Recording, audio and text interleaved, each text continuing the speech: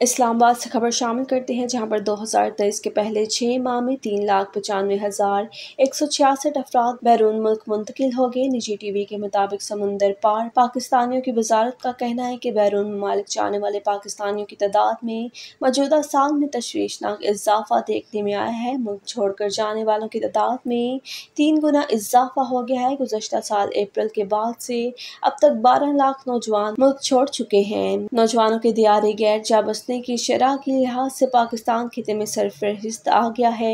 एक रिपोर्ट के मुताबिक तकरीबन पच्चीस करोड़ आबादी में से हालिया अरसा में तारकिन वतन की तादाद नब्बे लाख से बढ़कर एक करोड़ अट्ठाईस लाख छप्पन हज़ार पाँच सौ उन्नीस तक जा पहुँची है। ये तादाद मजमू मुल्क की आबादी के पाँच इशारिया चौदह फ़ीसद बनती है।